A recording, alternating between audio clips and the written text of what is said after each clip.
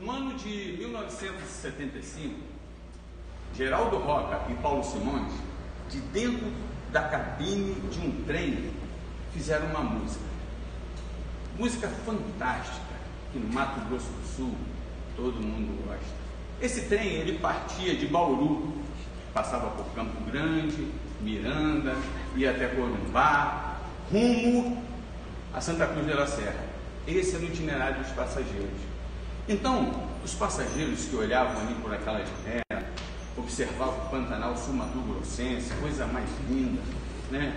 as estrelas do cruzeiro fazendo sinal, que coisa maravilhosa. Então, eles relataram ali nessa música a saga do pessoal que fazia as suas viagens, aquele passageiro que trazia na sua bagagem, na sua mochila, quantos pensamentos, quantos ideais, quantos, quantas melhoras que queriam para suas vidas.